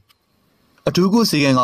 ညာဘက်ဆိုတော့မှောင်မှောင်အောင်မှာတိတ်ဆိတ်လို့နေခဲ့ပါတယ်။တာဝန်ကျဒေါက်တာတွေကလည်းသူတို့နာနေခန်းနေမှာစာရွက်စာတမ်းတွေကိုကကြည့်နေခဲ့ပါတယ်။လူနာတွေရဲ့အခန်းမှာတော့တယောက်ကိုတစ်ခန်းလုံးနဲ့အရေးကြီးလူနာကလွဲပြီးကျန်တဲ့လူနာခန်းတွေမှာတော့အဆောင်မရှိပါဘူး။ဒေါ်မာလာတွေကစကားမပြောနိုင်တဲ့ကလွဲရင်ကျမကြီးကောင်းတာကြောင့်သူ့ကိုဘယ်သူမှမဆောင်မေးတယောက်တည်းပဲအခန်းထဲမှာရှိနေစေခဲ့ပါတယ်။အဲဒီချိန်မှာပဲစီးရုံလျှောက်လန်းအတိုင်းပဲခြေတံတစ်ခုကအထက်ပေါ်လာခဲ့ပါတယ်။ တိတ်ဆိတ်နေတာကြောင့်ညအမောင်တွေကြောင့်ခြေတံတွေကတိုးလျနေပြီမေအိမ်မပြောသေးတဲ့ဒေါ်မာလာကအတိုင်းသားကြားနေရပါတယ်။ခြေတံကတဖြည်းဖြည်းနဲ့သူ့ရဲ့ခန်းဝါကိုရောက်လာပြီးရုတ်တရက်ရက်သွားပါတယ်။အခန်းမီးအောင်ကမိန်ဖြောဖြောဖြစ်နေတာကြောင့်တကားကိုဖွင့်ပြီးဘသူလဲဆိုတာသိချင်ပေမဲ့ထပြီးတော့လည်းမဖွင့်ရဲပါဘူး။ဒါပေမဲ့အခန်းတကားကတဖြည်းဖြည်းပွင့်လာပါတယ်။ပါဇက်ကအတန်မထွက်တာကြောင့်အော်လို့လည်းမရ။တကူလုံးကလည်းအနဲ့ရောင်ဝစ်စုံတဲ့အတူခေါင်းကိုလည်း အနဲ့ရောင်ခေါင်းဆောင်ကစောင်းသားပြန်ပါတယ်။ဒေါ်မာလာတွေလည်းပက်လက်အနေထားကအသားတွေတစ်ဆက်ဆက်တုံလာပါတယ်။ຫນွေຫນွေ အတန်တူတူနဲ့ဂရင်ဘေးကနှိုးနေပြီးဒေါ်မာလာຫນွေကတော့ကိုကိုလုံးဝမလို့မျက်စိကိုလည်းမှိတ်ထားပါတယ်။ຫນွေຫນွေကိုကိုလာပြီးတော့နှုတ်ဆက်တာပါ။ຫນွေခုလိုဖြစ်သွားလိမ့်မယ်လို့ကိုမထင်ခဲ့ဘူးကွာ။ကြားနေရတဲ့အတန်ကကိုမျက်ตาရဲ့အတန်ဖြစ်တာကြောင့်ဒေါ်မာလာຫນွေပူပြီးတော့အံ့ဩရပါတယ်။ ကိုရဲ့သမီးလေးကိုဂယူးဆိုင်ပါနှွဲရဲ့တင်မလွန်ကနေနှွဲကိုကိုကြည့်နေပါတော့မေဒီတုန်းမှပဲတကောင်းဖွင့်တန်ကြားလိုက်ရပြီးတော့အခန်းထဲကိုတာဝန်ကျသူနာပြုမလေးဝင်လာခဲ့ပါတယ်ရုတ်တရက်မြင်လိုက်ရတဲ့မြင်ကွင်းကြောင့်သူနာပြုဆရာမလေးအံ့ဩသွားပါတယ်ဟဲရှင်ဘသူလဲညအချိန်မတော်လူနာအခန်းထဲဘာဝင်လောက်တာလဲဒါအဲ့ချိန်မဟုတ်ဘူးကြောပြီးထားတဲ့အနေရောင်ဝစ်စုံနဲ့အရေးပေါ်တဲ့လူကတဖြည်းဖြည်းနောက်ကိုလှည့်ကြည့်လိုက်တော့သူနာပြုဆရာမလေးလည်းလက်မီအော်လို့လဲကျသွားပါတယ် မင်းမဲတရံကတော့လုံးဝဂီးမဆိုင်ဂရင်မော်ကဒေါ်မာလာတွေဘက်စီကိုပြန်လှည့်ကြည့်ပြီးတော့ကိုတော်တော့မယ်နော်ຫນွေဒီလိုပြောပြီးခြေတလန်းချင်းလှမ်းလို့အခန်းထဲကနေထွက်သွားခဲ့ပါတယ်။ဆိုင်ငယ်ကိုခြံရက်ရှင်မှာရထားလိုက်ပြီးတော့အသင်းဖွင့်လာတဲ့ခြံတကားလေးကိုဝင်လာခဲ့ပါတယ်။ကြောက်စရာကောင်းလာတယ်လို့နာမည်ကြီးထားတဲ့ရဲတိုက်ကြီးရဲ့ခြံထဲမှာတော့အမျိုးစုံလာတဲ့ပန်းမိန်တွေကြောင့်အလွန်တရာမှတာယာလို့နေပါတယ်။ကွန်ကရစ်လမ်းလေးကလည်းကွေးကဝိုက်ကနဲ့ဖောက်လုပ်ထားတဲ့ပုံကပကြီးကားတစ်ချက်လိုပါ။ သူတွေကဒီခြံကြီးလေးကိုတော့တခါမှရောက်ဖူးခြင်းလည်းမရှိ။အရင်ကလည်းဒီခြံကြီးကဒီလောက်ထိတာယာလိမ့်မယ်လို့မထင်ခဲ့ပါဘူး။တမျိုးလုံးကိုအပေါ်စီးမှမြင်ရသလိုလှပခံရတဲ့ရဲတိုက်နေကြီးကလည်းတင်ကျင်ခံရစွာနေပါ။တခါမှမရောက်ဖူးပေမဲ့တော်မရဲ့ဖိတ်ခေါ်မှုတွေကြောင့်သူ့တွေကရဲတိုက်ထဲကိုရဲစွန်ပြီးလာခဲ့ပါတယ်။လုံးမလီဘာကိစ္စရှိလို့လဲကွေရှင်သူ့ရဲ့နှောင်ကြောကထွက်ပေါ်လာတဲ့အတန်းကြောင့်လှည့်ကြီးလိုက်တဲ့အခါမှာတော့အအသက်60ကျော်ရှိတဲ့အဖိုးအိုတယောက်ပါ ဒီအိမ်ကကိုတော်မနဲ့တွေ့ကြလို့ပါလူလေးကခေါ်ထားလို့လားဟုတ်ကဲ့အဖအေးအေးဒီလိုဆိုလဲအိမ်ထဲလိုက်ခဲ့လူလေးကိုအဘသွားပြီးခေါ်ပြီးမယ်ကွအိမ်ထဲကိုရောက်တော့သူ့ဝရီတယောက်ပို့ပြီးတော့အံ့ဩသွားပါတယ်ခန်းသားကြံဝင်လာတဲ့အေကန်းကြီးထဲမှာတော့ကျွန်းကလထိုင်ကြီးတွေအပြင်တော့နေရဲနေတဲ့ကော်စော်ကြီးတွေကမနေရက်လောက်အောင်ကိုကောင်းလာပါတယ်အခန်းထဲရမှာခြေဆွဲထားတဲ့ပကြီးကားကြီးတွေကလည်းလှပလွန်လာပါတယ်ကဲကဲကဲ လူမလေးခဏထိုင်အောင်ကွယ်အဘလူလေးကိုသွားခေါ်လိုက်မယ်ကွသူရီကထိုင်ကုန်တစ်လုံးမှဝင်ပြီးတော့ထိုင်လိုက်ပါတယ်ခဏကြာတဲ့အခါမှာတော့အော်မင်းရောက်လာရွေးကွာတော်မကခြေတလန်းချင်းလျှောက်လာပြီးသူ့ရီရဲ့ရှေ့မှာမတ်တဲရဲလိုက်ပါတယ်မင်းဒယ်ဒီနဲ့စကားပြောချင်တာလားဟိုဟိုပြောပါဟိုရဲတာပြောပါဒယ်ရီဝင်းကျင်တဲ့လူကိုအပြင်မှာတွေ့ပြီးပြီကိုအားလုံးတည်ပြီးပါပြီကွာ မနေ့ပြန်လာပေးညမှာမင်းရဲ့ဒယ်ဒီဝိညာဉ်မူရင်းနေရာကိုပြန်ပြီးရှောက်အောင်ကိုပြန်ခေါ်ပေးမှာပါဟိုမင်းခါကမင်းခါရဲ့ဝိညာဉ်ကအရင်တည်းကသူ့ခန္ဓာကိုယ်မှာရှိနေတာပါမင်းဒယ်ဒီရဲ့ဝိညာဉ်ကလွှမ်းမိုးလုံးလို့ तू ကမင်းကမဟုတ်ပဲမင်းဒယ်ဒီဖြစ်နေခဲ့တာဒယ်ရီဝင်းကျင်ကဘယ်ကိုသွားမှလဲအကုန်လုံးကိုသိချင်ရင်တော့မနေ့ပြန်ညဒီကိုလာခဲ့အားလုံးကိုလည်းကိုဖိတ်ထားပါတယ်ဘသူတွေလဲယင်ကဲပါကွာ မင်းရောက်ရင်ဒါတွေအားလုံးသိပါလိမ့်မယ်အခုတော့ပြန်လည်အောင်ကွာကိုလဲလို့ဆရာရှိသေးတယ်သူတွေလည်းဘာပြောရမှန်းမသိတာကြောင့်ထိုင်နေရာကနေမတ်တက်ရက်လိုက်ပြီးတော့တော်မရဲ့ရှိကနေပြန်မယ်လှုပ်လိုက်တော့ဟိုခန္ဓာတစ်ခုထဲမှာမင်းတက်ဒီဝိညာဉ်နဲ့မင်းခါရဲ့ဝိညာဉ်နှစ်ခုရှိနေတာကွာမင်းအနေနဲ့ဘယ်ဝိညာဉ်ကိုထွက်သွားစေခြင်းလဲကိုမေးတာကိုအမှန်တိုင်းပြောနော်ဒီလိုပြောလိုက်တော့တော်မကအာရပါရရှိပြီးကြံခဲ့ပါတယ် သူ့ဝရီလေဘာမှဆက်မပြောဘဲတော်မရဲ့ရှိကနေထွက်လာခဲ့ပါတယ်အခန်းတစ်ခုလုံးကတိတ်ဆိတ်နေပြီးအခန်းတောင်းမှာတော့ကြီးမားလာတဲ့ဇန်နယာကြီးတစ်လုံးဒါကိုမြင်လိုက်တော့သူ့ဝရီအံ့ဩသွားပါတယ်သူတို့ရဲ့အိမ်ကဇန်နယာကြီးပါအခန်းရဲ့အလယ်မှာတော့ဂရင်အလိုတစ်လုံးနဲ့လူတစ်ယောက်ပလက်အနေထားပေါ်မှာပိတ်ဖြူအုပ်ထားတဲ့ဂရင်တစ်လုံးပါအခန်းရဲ့ဘေးဘက်ခုံနေမှာတော့သူ့ရဲ့အမေနဲ့ဒေါက်တာအုံးမမောင်တို့ကသူ့ဝရီရဲ့ဘေးမှာထိုင်နေပြီးတခြားခုံနေပေါ်မှာတော့မင်းခါနဲ့ သူ့ဝရီတစ်ခါမှမမြင်ဘူးတဲ့အသက်50လောက်ရှိတဲ့လူကြီး9ယောက်ထိုင်နေပါတယ်ဒီတော့မှပဲစီးချက်တစ်ခုလိုညီညာလာတဲ့ခြေတံနဲ့အတူတော့အခန်းထဲကိုအနှဲ့ရောင်ဝေးယုံကြီးဝှစ်ဆင်ထားတဲ့တောမတစ်ယောက်ဝင်လာပါတယ်စပင်ကိုနောက်ဘက်ကိုလှန်ထားပြီးပြောင်နေအောင်ဖိထားပြီးတော့ထူရဲလာတဲ့မျက်ခုံးမွေးတွေရဲ့အောက်ကမျက်လုံးတွေကလည်းစူရဲတောက်ပနေပါတယ်တောမကအခန်းရဲ့ထိပ်မှာရက်လိုက်ပြီးအခုကြွားရောက်လာတဲ့လူအားလုံးကိုရှင်းတန်းလေးတစ်ခုပြကျင်လို့ပါ အရန်လဲထူးဆန်းတဲ့အဖြစ်အပျက်လေးတစ်ခုပါအားလုံးကတေးပြီးဆိုပြီးတကြိုခဲ့တဲ့ခန္ဓာတစ်ခုကိုကျွန်တော်မမျှော်လင့်မဲ့တင်းချိုင်းမှာတွေးခဲ့ပါတယ်အဲအားနဲ့ပဲအလောင်းကိုတင်းချိုင်းဆောင်တဲ့သက်ဆိုင်ရာခွင့်ပြုချက်ကိုယူပြီးကျွန်တော်ရဲ့အိမ်မှာထားပြီးတော့လေးလာခဲ့ပါတယ်ရက်တွေကြာလာတဲ့အထိအလောင်းကမပုတ်ပါဘူးခန္ဓာကိုယ်ရဲ့ဆဲတွေကလည်းအလွတ်လုံနေဆုံးပါအဲဒီမှာပဲဒီမျိုးကိုကောင်းလေးတယောက်ရောက်လာပါတယ်ထူးဆန်းတာကကောင်းလေးကကိုပိုင်ဝိညာဉ်နဲ့မဟုတ်ပဲဆက်ဆက်ကြည့်လိုက်တော့ သူတို့ဟာတနေရာထဲမှာမဟုတ်ပေမဲ့အချိန်ကာလကစက္ကန့်မကြာပဲပြင်းထန်တဲ့ထိခိုက်မှုနဲ့ဝိညာဉ်တွေသူတို့ရဲ့ခန္ဓာကိုယ်ကထွက်သွားခဲ့တယ်ဝိညာဉ်ပြန်ရောက်လာမယ့်အချိန်မှာတကြိုပြီးတဲ့ခန္ဓာကိုယ်တော့ဘဝမကူးနိုင်ပဲသူနဲ့တထက်တည်းထွက်ခွာခဲ့တဲ့ဝိညာဉ်နဲ့အတူ